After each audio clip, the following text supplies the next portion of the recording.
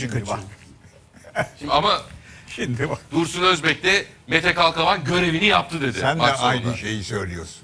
Dursun Özbek Galatasaray'ın başkanlığına 8 bin üye içinde sıralama yapsan 7065. gelir sıra ancak.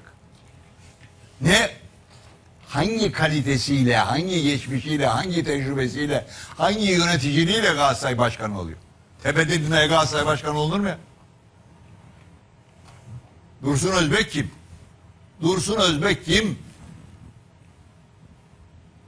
Levent bu sen kimsin en eski abi? futbol kulübü ya. Şimdi bir de Dursun Özbek dediniz. Yani Levent Nazifoğlu sen kimsin diyordunuz. Ya nesi oldu saymıyorum bile zaten. O hiç yok. Kim? Levent Nazifoğlu. Nazifoğlu.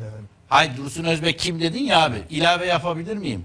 112 yıllık Galatasaray futbol takımının teknik direktörü de Riekering. Abi balık baştan kokuyor.